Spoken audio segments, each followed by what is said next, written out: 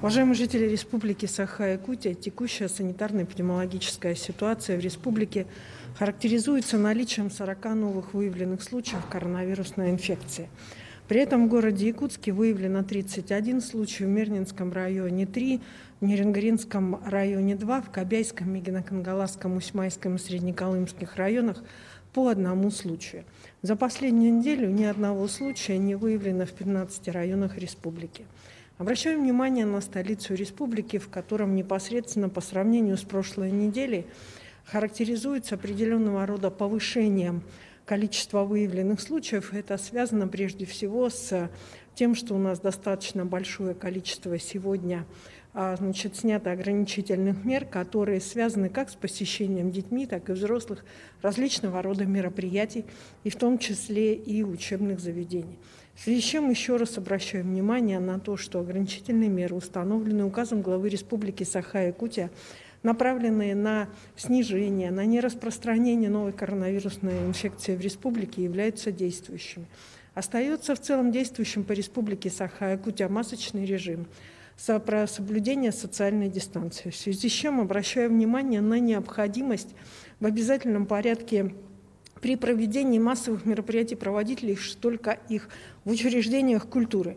При проведении массовых мероприятий учреждения культуры должны быть заполнены не более чем на 50%.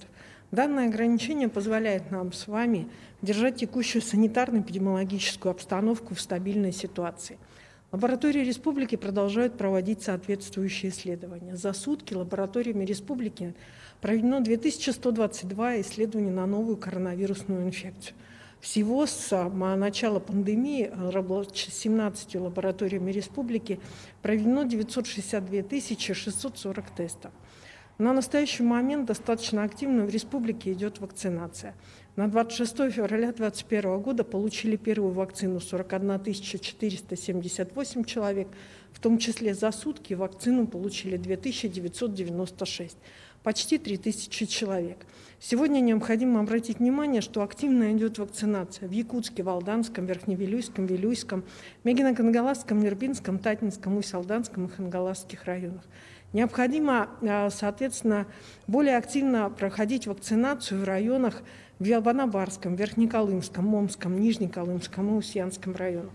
Мы понимаем прекрасно, что вот это вот снижение, меньшее количество вакцинаций по ряду северных районов связано и с логистической доставкой вакцины, но необходимо обратить внимание, что это важно. Важно сегодня пройти вакцинирование для того, чтобы снизить риски и чтобы в конечном итоге все-таки прийти к снятию ограничений и режима повышенной готовности, который действует на территории Республики Саха-Якутия.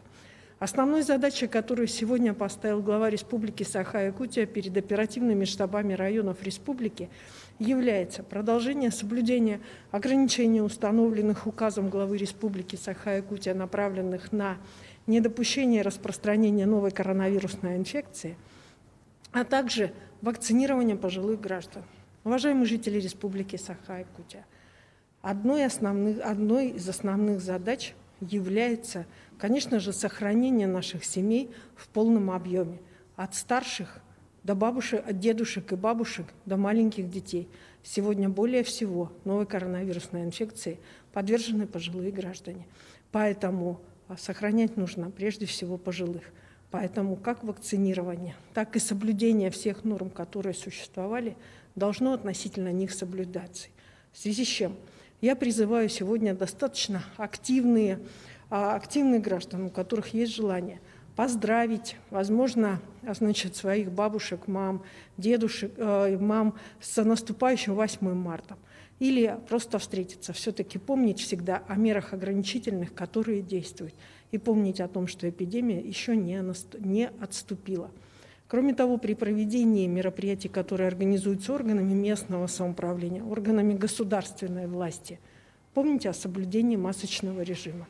И помните, что для граждан 65 лет и лиц, страдающих хроническими заболеваниями, установлен режим самоизоляции. Ольга Валерьевна,